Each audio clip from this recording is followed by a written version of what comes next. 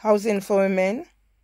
I am Mervily Myers, and you will be charged for negligence.